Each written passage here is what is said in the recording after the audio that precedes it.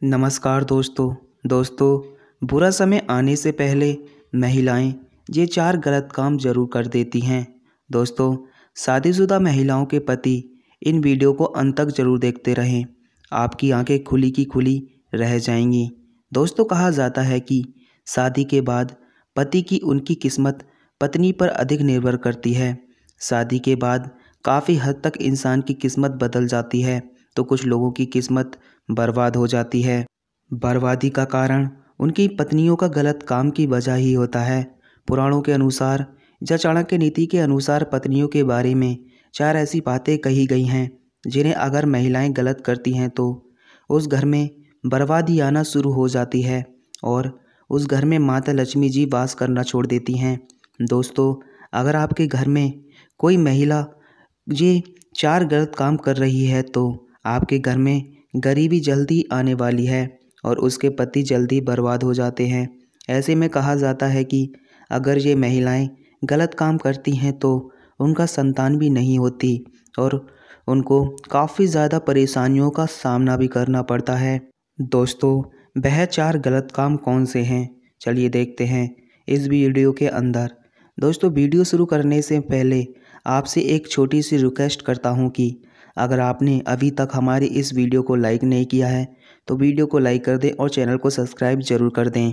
Number एक, शादी के बाद महिलाओं को मान मर्यादा में रहना पड़ता है, लेकिन कुछ महिलाएँ शादी के कुछ ही दिन बाद गैर मर्द से बात करना शुरू कर देती हैं। तो समझ लीजिए, उस घर में बर्बादी आना शुरू हो जाएगी। दोस्तों, स्त्री अगर पराई मर्द से आँखें मिलाकर बात करना शुरू कर दे तो समझ लीजिए उस घर में गरीबी आने वाली है। ऐसे में वह स्त्री पराई मत से संबंध बनाना शुरू कर देती है।